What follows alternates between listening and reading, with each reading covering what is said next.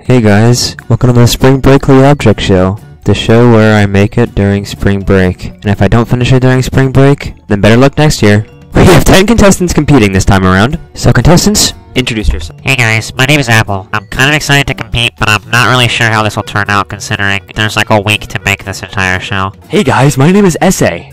Yeah. Hey guys, my name is Funny Muffin. Funny, and just put funny noises here. Hey guys, my name is Grapefruit.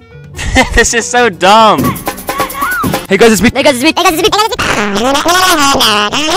me. Okay, I don't even care. I don't even care about the introductions. I actually just do not even care about the introductions. Let's get on to the first challenge. I don't have much time to make this episode before I have to release it.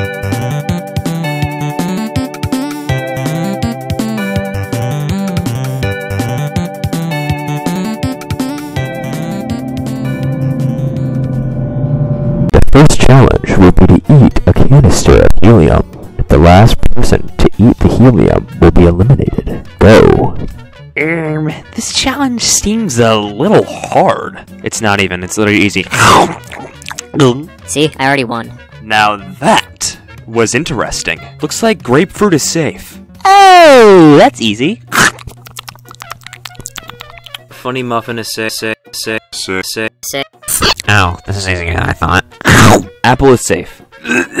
Sponge is safe. Stamp is safe. Toy boat is safe. SA is safe. Ross Fetterman is somehow safe. It's down to soda can and Twitter default profile picture. Let's see who will win. It's actually really easy to do this challenge. I literally just won. Like, look at this.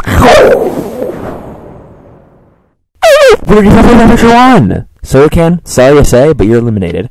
Oh, but I just got out my utensils.